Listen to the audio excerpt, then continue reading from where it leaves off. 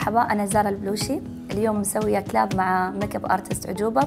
بنعلمكم آه، أشياء تتعلق بالميك اب يعني makeup hacks وتابعونا.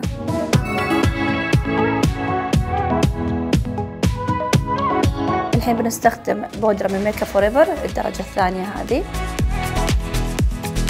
الحين بنستخدم هذا ال concealer علشان ننظف تحت الحاجب ونرسم الزين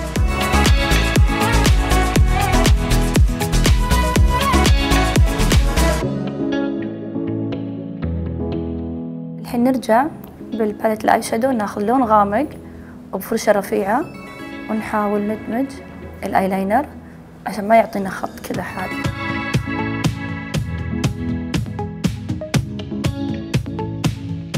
بنات هذه الخطوة مرة مهمة إنك ترطبين تحت العين علشان ال concealer ما يخط.